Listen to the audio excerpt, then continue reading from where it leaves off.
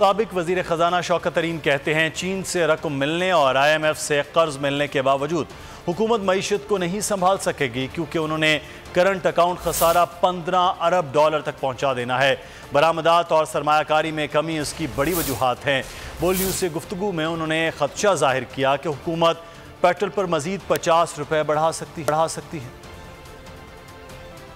तीन बिलियन से या आई एम एफ़ का एक दो बिलियन से बात नहीं बनेगी। बिकॉज़ क्योंकि मेरे ख्याल में ये जो एक्सपोर्ट्स गिरेंगी गिरेगी जो है फॉरेन डायरेक्ट इन्वेस्टमेंट भी गिरेगी।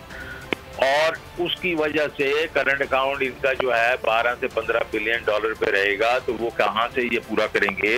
तो इनके लिए मुश्किल बढ़ेंगी, कम नहीं होंगी। मेरे ख्याल में तो अभी तो ये बढ़ाने की बात कर रहे हैं कीमतें की। ये भी अगले साल में ये ऊपर नीचे रहेंगी, ये क्योंकि यूक्रेन वॉर जब तक खत्म नहीं होगी, ये अनसर्टेनिटी रहेगी। ये जितनी कीमतें तेल के नीचे आए, इनको चाहिए कि आम आदमी को उतनी रिलीफ दें। ये देंगे या नहीं देंगे जो तो वक्त बताएगा। सब्सक्राइब करें और बेल दबाएँ ताकि कोई खबर रह न जाए।